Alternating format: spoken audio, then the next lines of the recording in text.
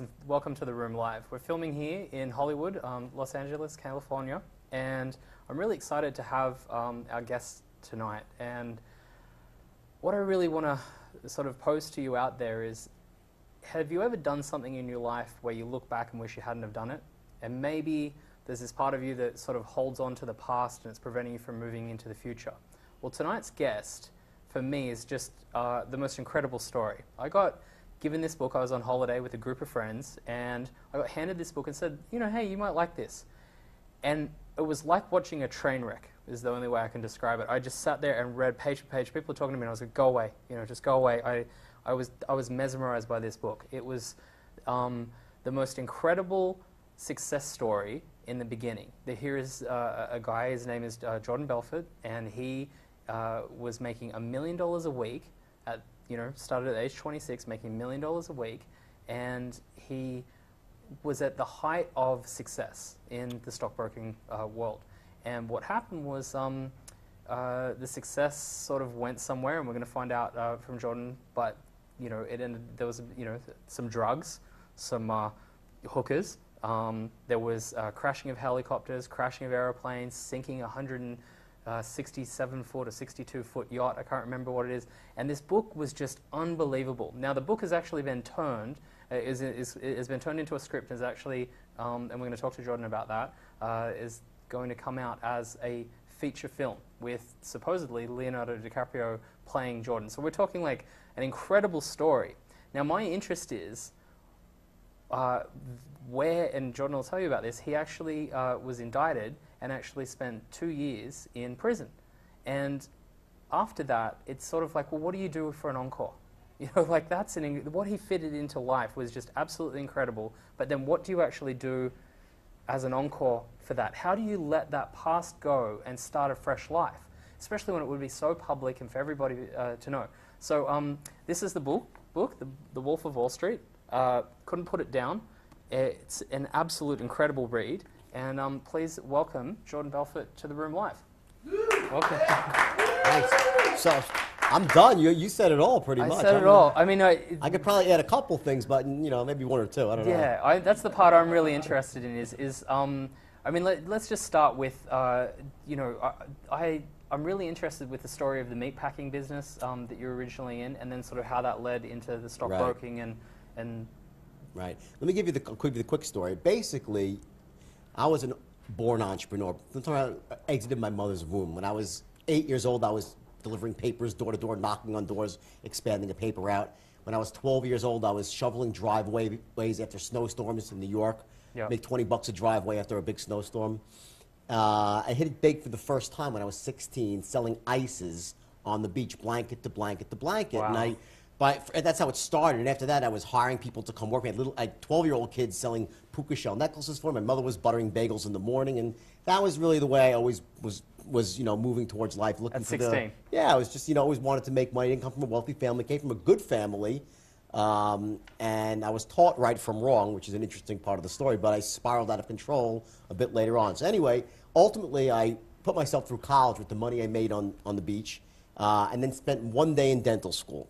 Yeah, and wow. the reason I went to dental school is because my mother had inserted a belief in my head, great woman, that you know the only noble way to make money is you got to be a doctor. You got to be a doctor. Well, I didn't want to be a doctor because that would have taken 10 years, but I figured dentistry would be pretty good. I'd make a lot of money yeah. and be a pillar of the community. So I went to dental school, and the first day I walked in, I'll never forget this. There was 105 kids sitting in the dental auditorium, and the dean's in the front, and this gray-haired guy, and he says, "I want to welcome you all to the Baltimore College of Dental Surgery. You should be very proud." To go come this far. You're going to really do great things with your life being a dentist. Well, it sounded pretty good. Then he says, let me say this. The golden age of dentistry is over. If you're here to make a lot of money, you're probably in the wrong place. I'm like, what the fuck? I'm in the wrong place. I stood up and I got, I walked away. I walked out, I dropped out of dental school on my first day. All right? Didn't have the heart to tell my mother. I was yeah. like, she called me. I was like, oh, things are great down in dental school. Eventually, I went back up, and that's how I fell into the meat business. And yeah. I answered a blind ad in the paper, and yeah. I didn't know it was sales. I never really sold anything before. The stuff I had done the, on the beach was really just hard work. I was going blanket to blanket. I had a vision, which is important. I had a vision of what I wanted things to be like, but I never mm-hmm. really sold anything. Well, in the meat business, they were going door to door selling steaks and shrimps and lobster tails out of the back of pickup trucks. And the first day, in the field, I broke the company record. First week, I shattered the company record, and I realized I had a gift for selling. The words just flowed. Yeah. After about three or four weeks, I was like, well, you know, why should I work for these people when I can go to the meat market myself and buy the meat, get the double markup, which I did. I bought one truck, started training people, bought a second truck, and then I noticed that the gift I had was not even for sales per se.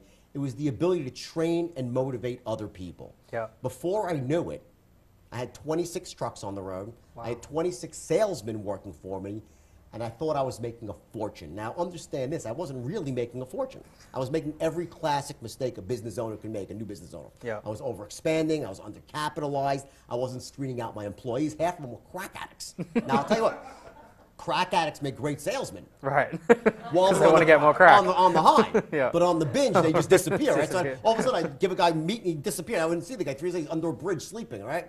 So that business went bankrupt. and I lost everything I had when I was 24 years old. And I was 24, wow. Bust ba- everything out. I had a little red Porsche. They towed it away. I had a tear in my eye when they towed the car away. And I had less than, I was probably in the hole $10,000. Had to declare bankruptcy. And what do you do when you're that age? You know, in New York City, I wanted to be rich. I was a good salesman. I went down to Wall Street of course. got a job on Wall Street. The first day, which is where the book starts off, when I walk in, it's like the military. You're lower than pond scum. You know, Yeah, they treat you like, lower they treat you like the yeah. lowest of the low. And I worked for six months uh, on Wall Street as a connector, this, which is just you know, hello, Mr. Jones, and pass the phone to someone that was licensed. I wasn't licensed yet. Watch these kids. They were kids, in the average age 25 to 35, and they were making half a million to a million bucks a year. And I was just watching this, and I was so broke, but I still was positive because I had hope. Yeah, wow. Because when you're in a room like that and you see all these people make money, like, well, I can do that. I'm like better than them. I'm the best salesman. I was all full of piss and vinegar. I was married to a great woman at the time, my first wife. She's a couple of wives ago, unfortunately. Haven't done that good in that department, which is understandable. okay, but anyway, so my my she was great. She was at home, and you know, finally my day came. Six months of torture of being that the lowest guy in the total poll. I passed my test. And the manager goes, go and get him, me and five other guys. My first day on Wall Street was October 19th, 1987, the day of the great crash. And I watched in absolute shock and awe as the market went down 508 points on the first day. Of and your- just like that, the game was over. Wow. That was really unbelievable. And I was like, the game's over. I never got to play. I watched everyone else play, and the game was over. And the firm I was with shut down after 100 years in business. Do you think this was because you turned up? Yeah, right. My mother said if you went into politics, we could have had real problems, right? So, so anyway, uh, the firm closed down. And I was out of a job again, no money, and I was really now I was desperate. And I ended up leave the firm. You know, was out of business. I was home, didn't know what to do, and I started looking through the help wanted section. I stumbled upon an ad for uh, stockbrokers out in Long Island. It was a very small firm, and when I walked in, they were selling penny stocks. Didn't even know what it was. Uh, but I was desperate, and the words rent money, rent money were playing in my head. I couldn't even pay the rent. Took the job, and the same thing happened as with the meat biz. I was the first day, shattered the company record, but this was different because I had this, this moment of clarity, a window of clarity. And this is one of the things I really believe that we all get in our lives. And when you're in that moment of clarity, that window, you got to jump through it. And for some reason, that was just, I understood a couple of things, a few distinctions that other people hadn't seen. And very quickly, I realized it was a niche in the market. And I developed a system. This is a turnkey system based on four things, all part of one move essentially to get from one place to another. And it got to the point within six months that I was making a million bucks a year myself as a stockbroker, but I could train any human being, regardless of age, race, creed, color, socioeconomic background, educational status. It didn't matter. Hmm. They could have this much desire, and I could amplify it. And in six months, they'd be rich too. I remember reading that in the book. That just, and that was one of the things that fascinated me was how much the, like how much of a motivator you were. Like the, it's so easy to say, oh well, he made. You're like at the height of, you, you know, you launched Steve Madden. You, you listed Steve Madden shoes. I, I owned Steve Madden. Oh, Steve, it was my company. Yeah, Yeah. I, I owned it and listed it. But here's the. I, it's a good point what you're saying. Yeah, I get and, it. And what I wanted to say was, it's, it's very easy to, to say, and this is one of the questions I wanted to ask you, um, was it's easy to say, oh, you know, he made money because, you know, like he, he did some dodgy things. Right. But the actual fundamental principles of what you did would be applied to anything, doesn't it? Yes, okay, so there was some dodgy stuff that you did, but a lot of it was, it was like 95% pulling together a team, actually motivating people, actually getting getting the culture, getting it to do. Like, there's a lot of businesses out there that are completely perfect, yet they don't have the culture that you had. They don't have. They didn't Right. have the Well- motivation. well, they didn't here- have any of those things. Here's the thing.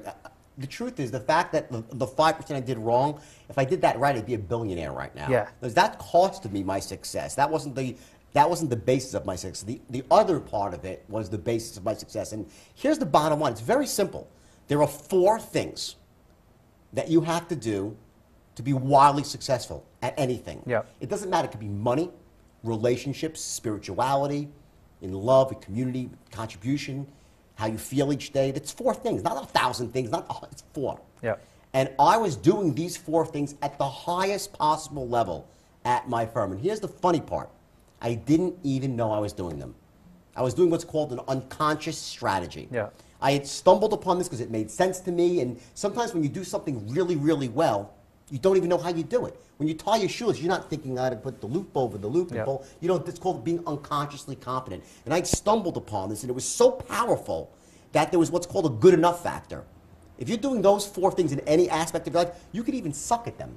Hmm. But if you do all four of them together, you're still going to become wealthy. You're still going to hit whatever it is you're looking to hit. And here's how it starts. Okay?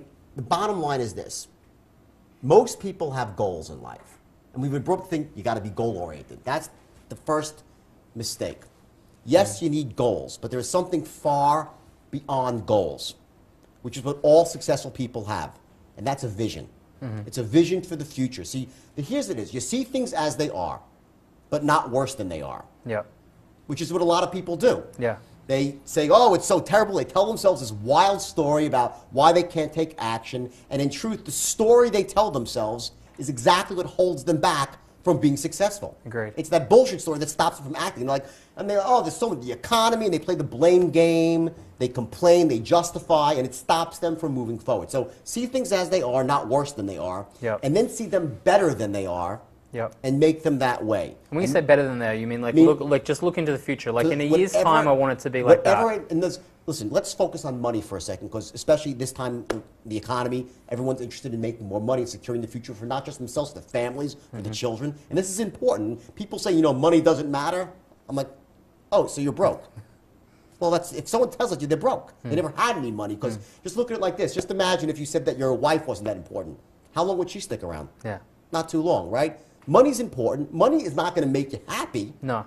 But an absence of money could buy you an awful lot of misery. So I look at money as this it's a problem that needs to be solved. Yep. And here's another distinction, which I think everyone should really key into, because this misconception that, you know, in some way money might be evil. Here's the deal there's no amount of poverty that you can have in your life that can make one other person wealthy. Agreed. There's no amount of misery that you can have in your life that can make one other person happy. There's no amount of, of, of, of, of, of uh, sickness in your life that can make one other person healthy. So if you want to make the world a happier, healthier, wealthier place, then get as much of those gifts you can for yourself and then spread it around. Yeah. That's the bottom line. I mean, I was thinking that the other day. I was driving along and I thought to myself, you know, if I'm in a Ferrari right now, how is that? It, it's not worse off for anybody because the guy that works at the Ferrari factory that designs, he's got a paycheck that he can then go and and you know pay his mortgage and feed his kids and do all of that. The person that actually made the headlights, the person that made the wheels, the person that you know the other company that contracts in to make the engine. It, there's nothing. If anything. Having a more expensive car actually does more for the economy and actually helps people. Yeah, but- Yet the old belief is, yet the old belief is, well, they're taking a resource out, or you know, the, way- the, the I- rich I hear what bastard. you're saying, saying, but you know, Ferrari isn't a particularly good example because I know a lot of really miserable people that drive Ferraris. Driving a Ferrari is not going to make you happy. No, it's definitely not gonna And- make you happy. And, and, and by the way, and, and here's the thing: if you love to collect Ferraris, you like to drive, for, that's great. I'll show you how to get a Ferrari. Get making money is easy. It's really, really easy. What's harder though is fulfillment. Yeah, Money's just a part, a part of the equation. So here's the way it is. You see things better than they are, make them that way. It requires four things, and here, I'll tell you what they are. Not going to hold it back. Number one is vision. Yeah. The ability to create a clear and compelling vision for the future. Mm-hmm. And the way you do that is you actually, when you set a goal, you have to get step into that goal and start to visualize it. You got to taste it, touch it, feel it, literally, really internalize it. Say, how would this world be? It's not just about when I get to there, then I'll be rich, or I get to there, I'll own a business. What's my world going to be like? How is it going to impact the people that I love? My parents, my children. How much time? See, people have a misconception. If I make money, I'll have less time for my family. Bullshit. When you make money, you have more time for your family. Hmm. You secure the future of your family, future of your grandchildren. When I became wealthy, really wealthy in the brokerage firm, which I'll get to later, and lost everything, which I did and I deserved to, because I made some fundamental mistakes, which I'll, which I'll go through too. My parents, who are now 77 and 78 years old, still uh-huh. alive, they became wealthy because of me. And they're still wealthy, and they struggled their entire lives. So when you become wealthy, it's not so much what you can do for yourself, what you do, can do for other people. That's where the fulfillment and the joy comes into it. So Yeah. number one is the vision, right? And if you look back at it, if you want any confirmation, look at a Gandhi, right? He survived hunger strikes and united a country, not because he had a goal for a free India, he had a vision of a free India. Nelson Mandela, all those years in jail, a vision. Yeah. Richard Branson, who's a friend of mine, who I know he sponsors me, my, my, my, my speaking tour. He's a, he's a visionary. Bill Gates, they're all visionaries. And the best example, considering we're in Hollywood, is a guy like James Cameron. Now, here's the trap. James Cameron is probably the greatest visionary of all time in filmmaking. Would you agree? Yeah, would, he would He was definitely be up there. interviewed on um, Diane Sawyer, and they asked him a question of, what do you owe your success to? And what he said was this, I set really, really high goals. So even if I fall short, I'm still doing great. And people thought that was pretty profound, and I actually believe in that too. It's not true though. See, what's happening is this, James Cameron is not a goal setter, he's a visionary. He just doesn't realize because he's running unconscious strategy himself. Hmm. If you said, that, if I said that James Cameron was it really just the goals, or do you have vision for Avatar? He'd say, oh, of course I will. Then he'd get all excited and he'd tell you how nothing was going to stop him from making this movie. The fact that it took 10 years and ran 200 million over budget and he put money in himself, all that's not what goal setters do. Goal setters will set a goal, gets tough, and they abandon it. And I can't overemphasize that distinction. That's number one is vision. Second part is the ability to manage your state, the way you feel in the moment, your emotional, your physiological state. And that is the key, bar none, the most important distinction in life. Because what that does, it allows you to access the resources that you have. If you're in an angry, pissed off, negative, unresourceful state, you can't do anything well. You've had one of those days, for instance, where everything you're doing, you're like, I can't believe I said that, I can't believe I did that, I'm such a fool, right? You had that day? We've all had that day. Yeah. Next day, similar situation, you're like, wow, you know, that was me. I did a really great job, right? You were perfect. So one day you're brilliant. Next day, same situation, you're brutal. That's not talent, that's not ability, that's the state that you're in. So the key to success is not just A, to have your vision, but to be able to manage the way you feel in the moment. Now, if you're a parent, what's the most resourceful state? Patience. if you're a businessman looking to make money on Wall Street, it's probably certainty Yep. or courage, because fear is the worst emotion of all for being a trader on Wall Street. So every business has different states that you need to master. Now, in, in most businesses, in matters of wealth, there's three.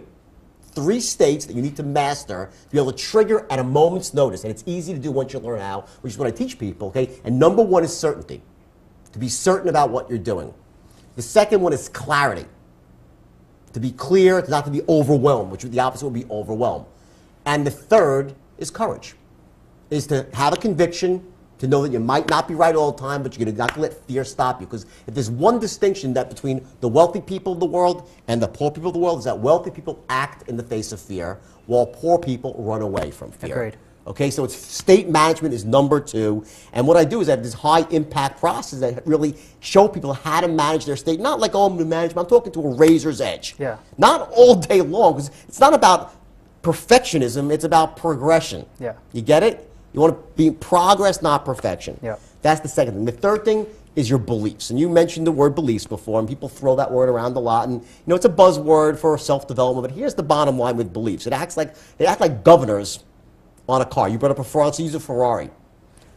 A belief, a limiting belief, is like putting the a, a governor on the engine of a Ferrari. The Ferrari can go 240 miles an hour. It has 550 horsepower, four valves per cylinder, 12 cylinders. But if there's that governor not letting the gas go through, you ain't going over 55. Yep. That's what a limiting belief does. It stops you from charging forward when you should and causes you to move back when you shouldn't. And we all have them. Agreed. And they Yeah. started getting inserted in our heads when we're yay big. You know, we were all unstoppable on day one. Hmm. And then came day two when our parents started spoon feeding us limiting beliefs. Sometimes, you know, they meant well, they just didn't know. Because, you know, one of the things that I'm a big believer in is that we were not even given our owner's manual. Hmm. Our brain's an immensely powerful computer. And this is, you know, known by, by pretty much everybody in the self-development world. Some of the top people, Dr. Richard Bandler, who I trained with, a great one of my mentors and a brilliant guy. And the first thing he said to me is, you know, you never got your owner's manual, Jordan. And because of that, you don't realize that the world around you that you take it as reality, it's really not. It's subjective. Hmm. The reality I'm looking at is just subjective. I can interpret things how I want. I can have the beliefs that that, that, that empower me, and I can shed the beliefs that disempower me. So the first thing I do when I meet somebody, I work when I coach really wealthy people, some stars in Hollywood, the first thing I do is go through what their limiting beliefs are. Yep. And you got to root them out. And it's not difficult. You, gotta, you can't just root them out, you got to replace them with empowering beliefs, which is typically the opposite belief. Right now, what I was doing at my brokerage firm, interestingly enough, getting back to that, is each day at my firm, I give, if you read the book, I give two meetings, the morning meeting and the afternoon meeting. Yep. And in the meetings, I was actually running this strategy. I had them visualizing their success. I would talk about the life. Yep. Now, the average kid that came to work for me was about as smart as a box of rocks. they were. They're like, you know, were- none of the kids went to college, okay? They were not the lucky sperm club members. It wasn't the deep end of the gene pool, or anything like that at all. Yeah. These were the forgotten. These are my people, right? Yeah. They came to me, they thought to be working in pizzerias. And the first thing I said to them was this the moment you walk through the store, everything in the past falls off. You sit behind this desk, you say the words I teach you, you become as powerful as the most powerful CEO in America. What am I doing? I'm breaking a limiting belief. Agreed. You get that? And I didn't know. And you didn't know that you were doing know. that I didn't know. I didn't Yeah. know. I was just saying it's like I got riled up myself and I saw these kids and I wanted to help them Yeah. and I knew what they needed to hear because they grew up in, in, in, in households where they weren't told they were worthy of greatness. They weren't told they were, had the ability to be successful. Every human being, you I can tell you something. I give seminars. I give two-day seminars, right? And you c- can't believe the, the dramatic changes in people in just two days. And it's not that I'm a guru.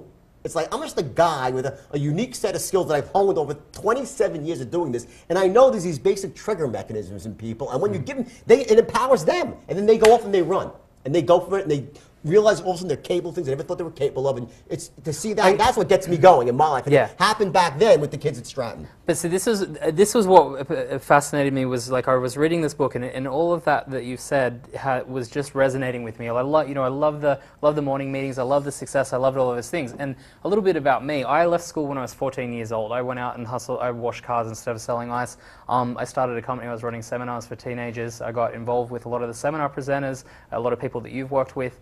And what happened was um, I was doing very well and I was sitting on a private jet with a very wealthy businessman who was doing seminars, and he spoke an incredible game, just like you spoke. And something didn't feel right. There was something there, there was something amiss. And he's now serving time in jail for fraud. And that's where this book for me was like, wow, this is. I, I was lucky because he fell in front of me. And so I was able to. It was always like I. All of a sudden, he popped up on my shoulder and was mm-hmm. like, whenever there was a deal or whenever there was. Because when you get into personal development, like personal development and NLP and all of those things is a lot like a knife. You know, you can use it to, to like make it, to, to use it to Like make a meal. It's, it's a t- listen. It's NLP and all. Uh, it's, I'm a listen. Dr. Bandler's a friend of mine. He's, he's fabulous. And he, he, what Dr. Bandler did for me, and the, and the reason I went to see Dr. Bandler is very simple. Look, this book, right? It's 535 pages. Yeah. I think it's like 16 bucks in the bookstore, maybe a buck cheaper on Amazon. That's a good book, right? Yeah. And in this book, book. you know, in this book, there's a lot of wacky stuff. Yeah. Drug use, hookers like I'm not, I'm not proud of that. Just you know, I made some huge mistakes, and I'll get into those. So that's important too. Yeah. Very important. What to avoid to do is not just what to do, what to avoid to do. Agreed. Right. So. Because someone has but- to go but- ahead. But, but listen, embedded in this book is the secret for success and failure. It's Yes. in here. Agreed. Buried within 500. And So if I And could- it's an entertaining Now, read. No, but imagine if I could go in this book and highlight in red all the stuff, just success, success, success, blue, blue, fail. How much would that book be worth? A lot of money, right? Yeah. a fifty dollars, a hundred bucks, a thousand bucks to have the secret to six, right? Yeah. That's what the book is. The problem is, is that sometimes when people read the book, they get so caught up in the story, they don't get the message because it's a funny book because it's my insanity, and, and now you're one of the people that got the message. So what I Well, no, no, no, but I had to put it down and go, like, I literally had to put it down and go, I think I need to join AA or I think I need to go dr- check into drug it. rehab. I. And I haven't done any of the drugs. Marty Just purely reading it. the- Marty Scorsese's directing the movie, Yeah. right? You know, he took on this movie, and he's no, he's been around some Yeah, people. it's like this is the craziest thing I've ever seen because it's it's nutty. It's so That- that- nutty. I, get that. And what can we, speaking of nutty, just Yeah. to make it a little bit more fun, is um, can you tell the boat story? The boat story. I just told this. You know, I hadn't told it. I told it last night. You know, I meet new friends. They always want to hear the boat story. I'll give you the the, the brief boat story. Okay. And, and the reason why I say this is we did have a text come in and it actually said that it said it was said in this in the book, is the boat story 100% real, or has it been embellished for the book? No, not at all. The, bo- the boat story is public record. You can go Google it on. If you go back uh, to, um, I think it's July 30th or 27th, no, no June 27th, 1997. It's the boat story is published. Oh, it's a very accurate story. The only thing that it, it's anything it's under embellished. Yeah. Simply because what happened was in a lot of sections in the book were edited down and edited down. Everything in the book is 100% true. All right, let's do, let's do the boat story. But before Okay, we go there, I, real- ju- I just wanted to make the point that I was making before Yeah. about it was that the way I see it was that a lot of the personal development, a lot of those things, they really can be used. uh, You can you can uh, you're a very good communicator. I, I would imagine that you use a lot of the NLP skills, for example, to build rapport, and, and you were doing that stuff way I before you even knew what I it don't was. use NLP for anything like that at Right. all because I don't. NLP is do is showing you what you do automatic. I don't need to think in terms of NLP. Yes. I'll use NLP to help somebody else break through a problem they're having or belief that they can't that's holding them back. But for me, I don't know. Some people go around they try to use NLP to to get ahead. I don't believe it's made for that at all. And the fact why I went to see Bandler, just so you know, is he took my book. What he did is it's about modeling. Yes. And he said to me, "This he broke down my success." He goes, and he was the one that said, "Listen, it's the I'm not going to take credit." He said to me, "Because you were doing these things, these four things that you did, and he distilled down my success to its elements." Yes. And that's what I it allows me to share it with people, whether it's in two hours or in two days or in two months. I can give people the full, undiluted good, and also tell them what not to do. It'll And that's what I was going to, Yeah. because there's a lot of people out there that, that can set, like, you know, there's a lot of personal development people, there's a lot of people out there pushing success, there's a lot of people that haven't had the heights that you've had, Right. but there's also a lot of people that, um, I don't know anybody that's had the low that you, the, the lows that you went through. That's still and, alive, yeah. And, and, and that's the, that's the part that interests me. Yeah. But the, I suppose the point that I wanted to make was that I saw, I see, you know, things like persuasion and NLP a bit like a knife in that you can use it to make a beautiful meal for your family, to help someone, to, you know, or you can use it to go uh, hold up a liquor store. Yeah. And, and that's the point that I want to get across is, is for me, it's really important of having seen what's said on stage and what's written in books and what really goes on in people's lives are two completely different things. Mm-hmm. Yet you've got the most unique ability of anybody I know because your shit's out there. Right. It's like the, the stuff that a lot of people hide because it's going to affect the book sales or it's going to affect No, I the. put it out, the- yeah. Yeah, you're already out there. It's like you're, and then uh, really you're almost like struggling to say, hang on, I've got a lot to, like, yes, I did all these crazy things, and we're going to hear about it like the sinking of the boat, Yeah. but I actually, behind it is incredible success. And that's, that's the point that And I'll tell you, I'll tell you. One of the things was I have you know different seminars I give. So in the shorter seminars, they're always clamoring. Tell, I said I'd love to tell you stories. I just don't have time because I'm, I'm here because I want to help people Yeah. get ahead and make changes. And the stories take up time. But I will tell you the yacht story. There are some lessons yes. to be learned. Let's seed them in. okay? and I'll try to seed in some lessons here, okay? And I would say the first lesson was I had a really lousy making decision strategy, okay? For this whole yacht experience. It's a series of very bad decisions that all rolled up into, you know, a, a 11 day stint of madness. And it started off with the fact that I had a private jet at the time and I was sharing it with somebody else. So it was in Europe. So I took a commercial plane, myself, my wife, and uh, three other couples. So it was, it was eight of us in all. We landed in Italy, and when we got off the baggage section, my limo driver forgot to put my wife's luggage on the plane, and she had no clothes. She was freaking out. She wanted, she said, I got it, I got it. I said, no problem. And I was already stoned out of my mind. Now, you have to understand. Now, you're stoned out of your mind to on what? On addiction- Ludes, cocaine, and like five other things. The drug addiction I had was so severe. I know. You know, listen, so I said in reading the book, I felt like I needed to go to drug Right, For house. those who free. don't know, for the benefit of your viewers who are normal, and haven't been addicted to ludes, thank God for them, right? You know, one lude is enough to knock out a 220 pound Navy SEAL for eight and a half hours. Wow. I was taking four a day and walking and walking around. Four at a time walking around. That was because you get immune to them, right? So I was probably four or five ludes deep and already in the airport, and I was like, "Don't worry, honey," and you're slurring, right? I'll buy a bit the American Express commercial. I'll buy you all new clothes, which we did. Spent eighty thousand, got her a whole new wardrobe, and from there we made our way to the yacht. And as we're going down the hill in this limousine, there's eight of us in the limo. One of the girls, I think Ophelia, her name was, she's like, "Why is there like waves in the harbor?" And we looked out, and sure enough, there were like these little wavelets in the harbor. When we pulled up to the dock, the captain was out front. And the captain was as crazy as me, by the way. He was, you know, also an action junkie extraordinaire. And my wife runs, runs out of the car with her, all the clothes. What's going on, Captain Mark? What's going on? He's like, well, you know, there's a, there's a storm, a freak storm kicked up. We, we really shouldn't make the crossing. It'll be, and she's and I'm like now I'm like wait a second no no no no I'm in this drug induced state I have like ants in my pants like a drug induced ant I have to move like there's different phases of a quaalude I'll tell you what they are your, your viewers should know this Is, is this the fourth secret? this is, a, this, is, this is a real fourth secret. This is a real four secrets to go nowhere in life, right? The four, first, the first phase is the tingle phase, where the fingertips tingle. And all of you who who are, who are out there in television who are dooloods, you know this, right? The second thing, okay, is the slur phase, where you start to slur your words, but you don't know that. You think you sound great, right? The third phase is the drool phase, where you're drooling out of the side of your mouth, but your loving life is just as much. And the fourth phase is, unconsciousness, where you pass out and you wake up somewhere you have no idea where you are. Yeah. Like at the hangover, right? You Yeah. know? Yeah. It's like, okay, those are the four phases, right? Then there's a fifth phase, which doesn't really hit you up, and it's called the movement phase, Yeah. where you get like you have to move. Now, I was in the movement phase when we got to the boat, and when the captain said we shouldn't go, I was like, absolutely, we have to make the crossing right now. It's 100 miles a day. I said to the captain, can we make it? He's like, well, we can make it. It's going to be rough. I said, can we make it? He goes, we can make it. I said, let's go. He's like, all right, let's go. My wife's like, you know, prances. I'm like, go cut the new tags off your clothes. Come on, go downstairs, right? So we go get on the boat. I go up to the top deck on the fly bridge and I say to the stewardess, you know, give me one Bloody Mary every seven minutes till I pass out. Give me one every six minutes after that, right?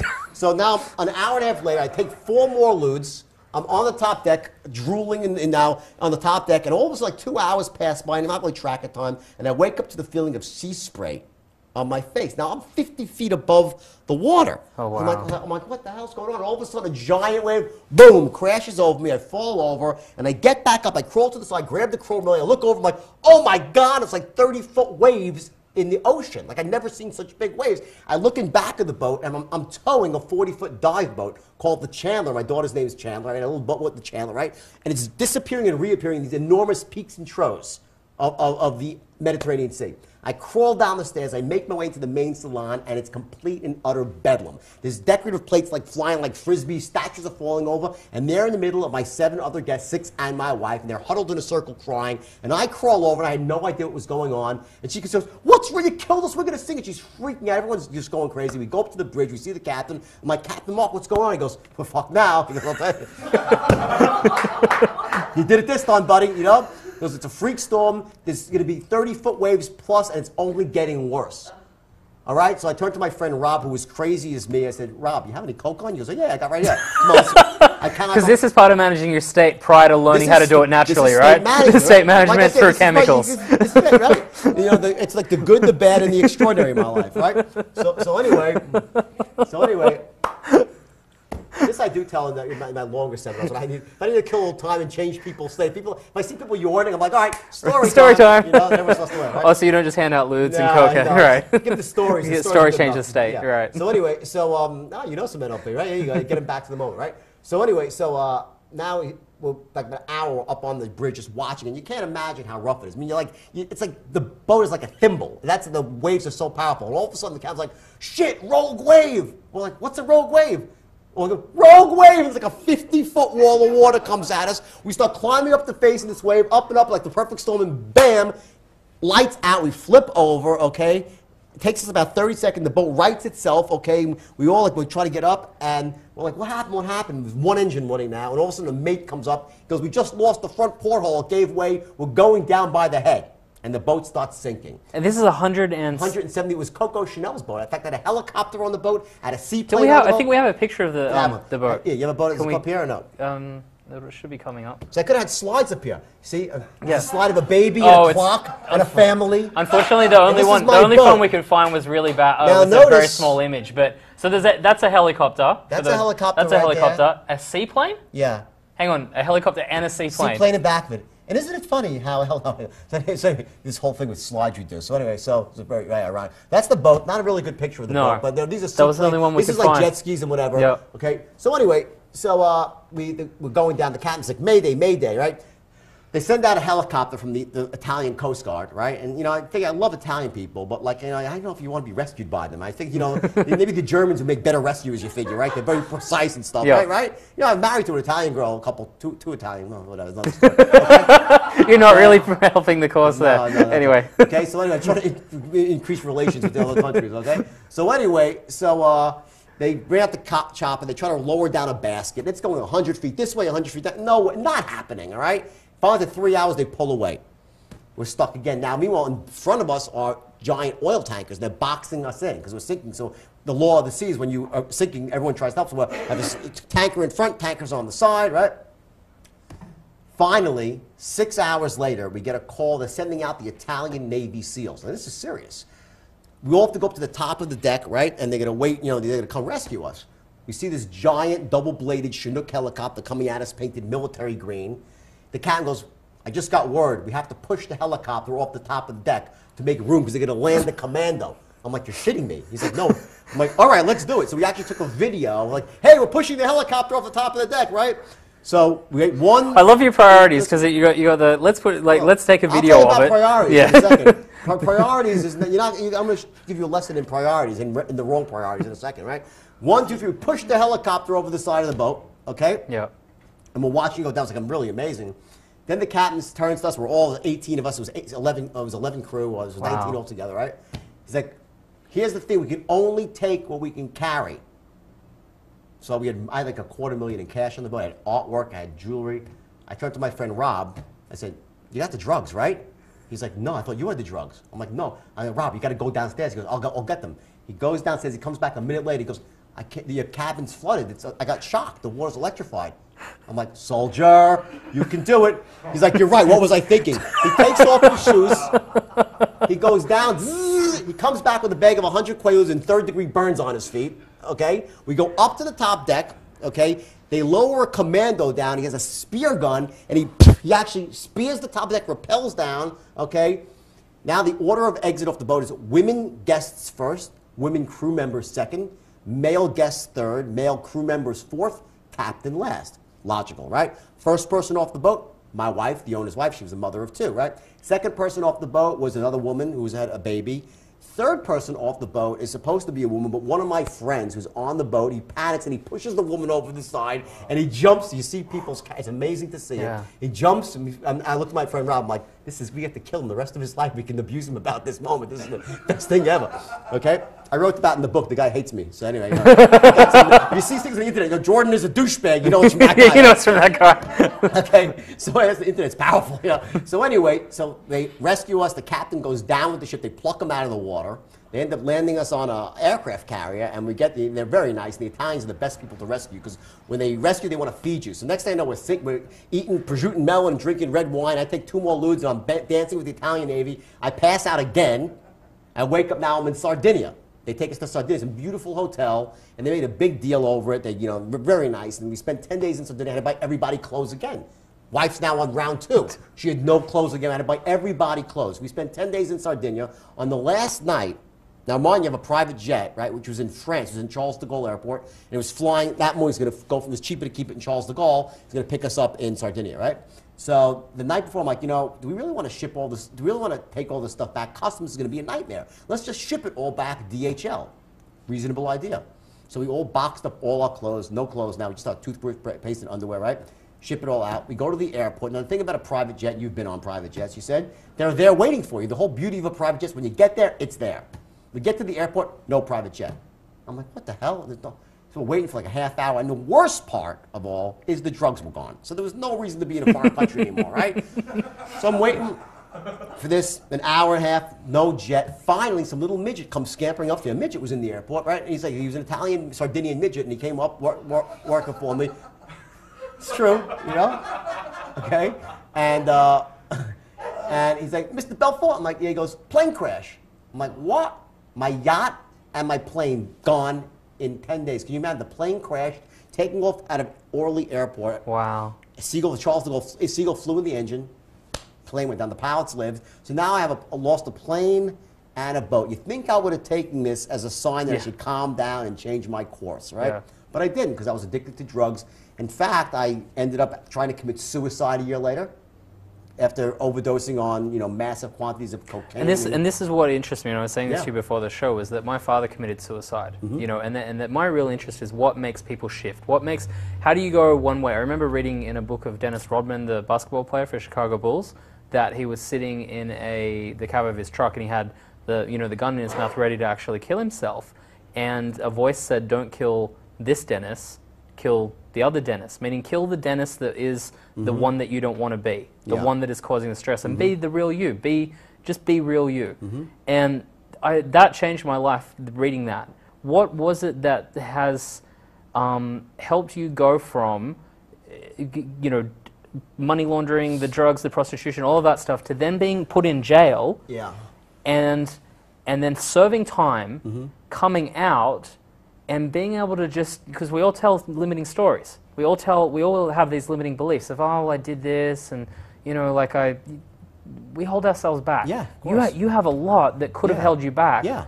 And yet Yeah. you managed to reconcile. My understanding is um, you have is it repara- uh, I don't know how to pronounce it. Was it um you know where you, you Yeah, I paid a lot of it back, and I still pay pay money back. But I'll, I'll tell you what it was for me, just so you know. And everybody's different, okay? When I came out of jail, I had so many limiting beliefs about what I could do with my life. You know, after making the mistakes that I made. And here's the thing about your past. And once you can, if there's one thing that your viewers, if there's one thing that you can actually get from all this, one distinction, it's that no matter what happened to you in your past, you are not your past. You hmm. are the resources and capabilities you glean from it. Mm. You are not your past. You are the resources and capabilities you glean from it. And that is the basis for all change. Because the worse your life is, if you've survived the worst of the worst, if you've made the biggest mistakes and are still breathing, yeah then you can learn from that, and that builds muscle. Mm. How do you build, when you go to the gym to build muscles in your arms, what do you do? You don't push against lightweight, you gotta push against extraordinary weight to get to failure. yeah And that's why you learn more from failure, you go stronger from failure than from success. Ask any successful person, and they will tell you they failed five or ten times. yeah yeah yeah. yeah. The, more, the, the, the more crap in your life that you've survived, Hmm. if you're willing to just reverse the angle, to look at things from a slightly different angle, when you change the way you look at things, the things you look at change. And you will find so much power, so much passion, and so much internal fortitude from your past if you have a destination, meaning a vision, mm-hmm. something you truly believe in, that you desire, not a goal. You know, everyone goals are like buzzwords for failure. Every asshole has a goal, and they're mostly full of crap. Yeah. Now you need goals, but it's not enough because goals get abandoned, but the vision remains. If you have a vision and you want to look at your beliefs as resources, and you need that as strategy, and here's the key: a strategy for success. In that book, I came up with the most effective persuasion strategy in the history of Wall Street. It's still used by many of the big firms today. All the cold calls use all the scripts and, and the straight line system. It's what I, what I teach in seminars, but I teach people how to use this as a force for good. That's one of the first, when I give a seminar, the first thing I say is this. Some of the things I'm saying right now is not, rule number one.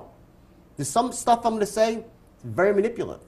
It'll allow you to take people's money for bad reasons, to get people to buy things they shouldn't buy. And if you do that, you might make some money in the short term, but you'll end up broke, morally bankrupt, spiritually bankrupt, and hopefully in jail.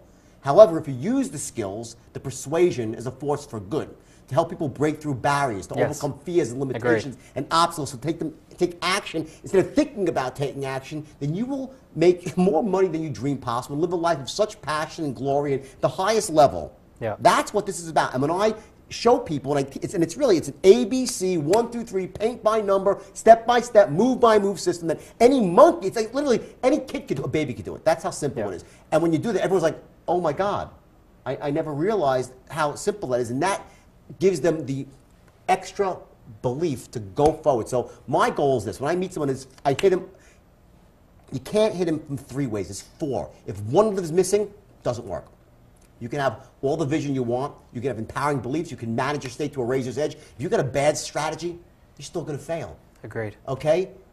But if you have all four things and you're even mildly good at them, you can't help but succeed. Yeah. Now, it's not, oh, you know, I'm a big believer, there's only one way to get rich quick. There's only one way to get rich quick. One way, quick. However, what takes a long time is to get everything lined up to get to the point Yeah. when you get rich quick. Yeah. So it's not like a get rich quick scheme, you got to get rich overnight, but when it's, a lot of work and a lot of pieces of the puzzle, when those pieces are in place, the money just rolls in and freedom rolls out. Yeah. And that's what true success is about. You ever see Jerry Maguire? I'm sure you have, right? Yeah, I love the film.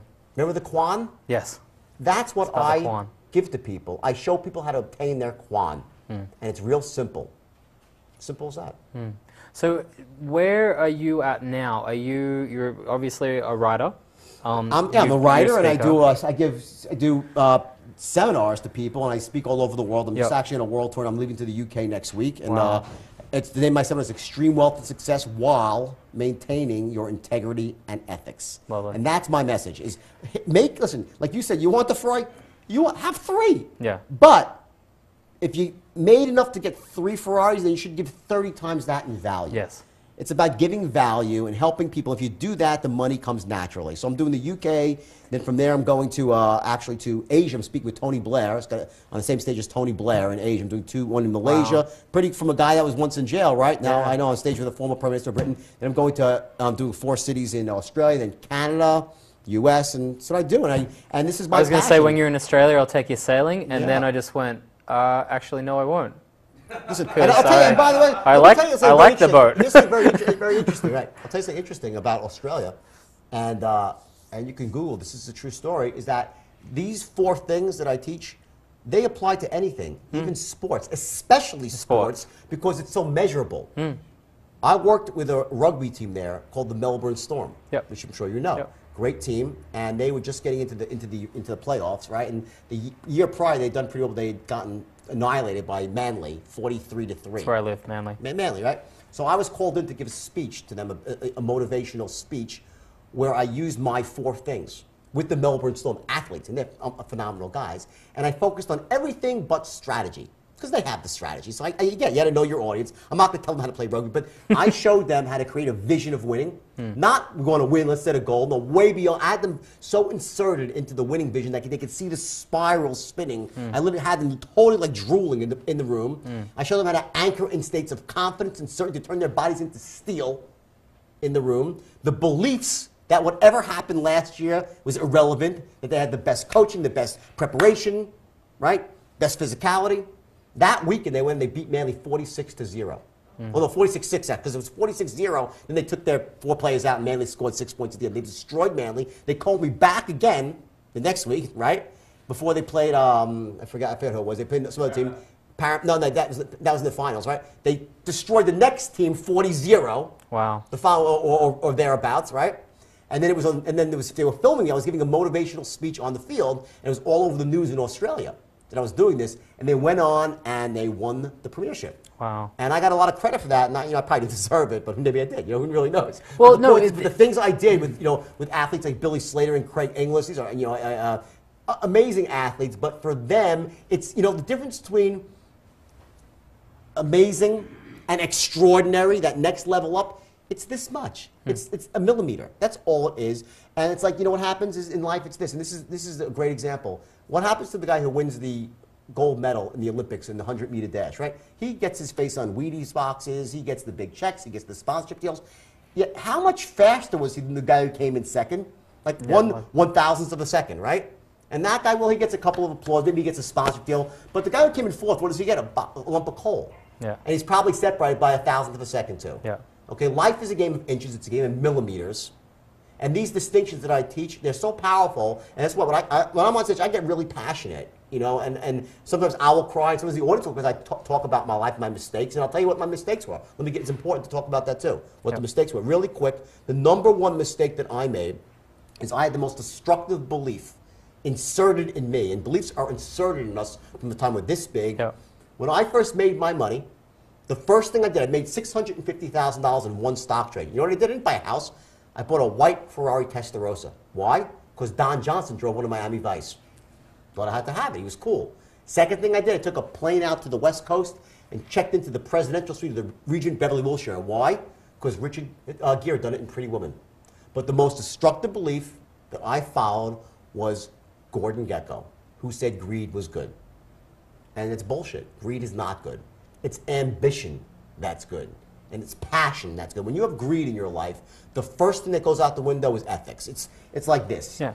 You don't lose your soul on Wall Street or any other street all at once. It's a bit at a time. It's tiny, Yeah. imperceptible steps. You know, you do something, you're doing everything right, you step over the line, you step back. And You're like, oh, I got you know, nothing bad happened. But next time you step over the line, the lines move, so you step a little bit further, further still, further still. And all of a sudden, a couple years pass, you're doing things you never thought you'd do. You're associating with people you never thought you'd associate with, and you, everything seems just all right. It's like dipping your toe into a piping hot bathtub. You, oh my God, it's so hot, right? Five minutes later, you're underwater, and the water feels perfect. Yeah. That's how we're built. We habituate Yeah. on our emotions. And that's what I wanted to say was I, I'm, I'm very grateful to people like yourself and the, the gentleman that was in my life where, you know, he, he's now serving time in jail for fraud, was that, you know, you can't have hot without cold. You can't What's have his good. name? Was there, is that like a secret or something? Well, I don't. I, Curiosity, yeah? I just I don't feel comfortable saying Okay, his name i- in that. You'll tell me off screen. Yeah, I'll tell you off screen. Okay. Absolutely. Um, well, no, it's just Then I'll post it on the internet on your site so everyone, your audience don't get mad. yeah. I, I just uh, it, you know if unless I've spoken to him and that he would be okay with that, I don't know where he's at in his life and and but I just know that yeah. I, but what I was going to say was that. Um, you can't have hot without cold, good without bad, up without down. We live in a You- world of duality. Yeah, it's, we live in a, in a, in a very um, dualistic world where you have all of those things, and it's wonderful to have. You know, somebody has to do what you did, Mm-hmm. and you did it. And thank you for a doing it, and then not just shutting up and going away. But Mm-hmm. thank you for doing it, and then actually saying, like, uh, I, I made a mistake. I, I, screwed this up, and it, and it, what it does is it actually allows other people to who are in forms of success where they can feel that line creep. Because that's what you do is when you start reading the book, you're like, oh wow, you know, he's like he's successful, successful. You're and all like, of a she's like, stop! What are you doing? Like, what are you? Why? You, you, when Yeah, why young, are you what- doing what's it? Wrong? Why? What's wrong? Why are you doing that? Like, you- you're making it. You're making. You could do make eight hundred thousand a week legitimately. Why do you go Why? the extra two weeks? I Yeah, know. yeah. And but but what it is though is, is it actually serves as a wonderful lesson, and I think that you've got a lot to offer the world in the form of success. But I would say that there's a lot of people like Tony Robbins and and and, and the the people of that ilk out there that can you know they, they do a very good job of perform uh, of delivering that. Mm-hmm. What no one really does though is sort of says, hey, I, I screwed this up big time. And you're going to still have success. If you do these four things, you're going to have success, but make sure you do it ethically. Make sure you do Yeah. it. And to really come from that personal experience. And I, I really, I appreciate that. I thank you for that because it would have been easy to have just, eh, like, Right. you know, hidden or let your, your story be those excuses. Um, and I think it's a wonderful, I think it's a wonderful gift that you can actually turn around and give to people. You know what it is? Let me tell you. When, when you have something inside you that you're really passionate about, I'm. It's like sometimes I'm like I'm, I'm dying to tell people like, listen, it's easy. Number two, it works. Number three, you can do it. Anyone could do it. A baby could do it. And people get caught up in the daily cycle of life, right? And they just go about it and they get cubbyholed into a state of learned helplessness. And you know what? In this economy, in this decade that's upon us now, if you have that mentality, a poverty mentality, you're going to end up in, in trouble. You're not going to be able to retire with dignity. You're not going to be able to take care of your family, protect your family. The, the stakes are, are real here. It's not about like, you know, no, let's be successful. We'll be, you, average is death right now. Yeah. It just is. The government's not going to be there to take care of you. You know how much? I have two kids and they go to private school because I make a lot of money because I work hard. Hmm. And you know what? Our ki- your kids, my, they- if you have kids or whatever, your kids deserve to go to the best schools. If something, God forbid, happens health-wise, you deserve to have the best health care. That's what having money is all about. And you know what money is like? It's like oxygen. Hmm. You need it to breathe, but there's only so much you can use in any one lifetime. Yeah. After that, you give it away.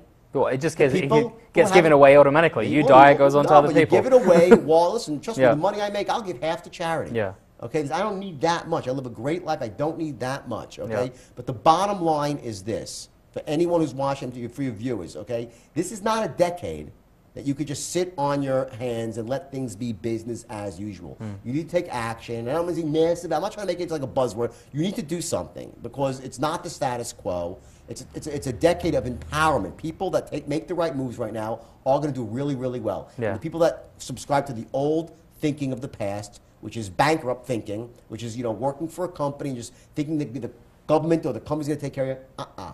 It ain't, ain't going to be anymore. It's just not the way it's going to be. You want to work for a company? Ah, great. Not everyone's meant to own their own business. You don't. Listen, I respect the woman I'm in love with. She's a, she's a, she was a, a, a stay-at-home mom. The most noble job in the world. There's no noble, more noble job than that. But somehow, there's got to be someone in the family unit that's responsible for bringing in money because simply it's a problem that needs to be solved, the money problem that needs to be solved. And my think is this it's so easy to make money, so you might as well do it what you'll do what you love, be passionate and make your money like that. Don't make your money by working something that you hate and every day is a chore. That's not a life. And, that, and that's the thing is you, you made your money it, wa- uh, in your brokerage firm really from educating, breaking people's beliefs, pulling together a good culture. There's like this those success principles that you had then, and and I, what I say is what you love. Four. Four. There's, I, I, I left Well, we're gonna have we're gonna have to wrap, Real so let's, we'll do the four. Four things. Ready? Yep. you. Then the last thing I'm gonna leave you with. Four things. Number one is the is the ability to create a vision.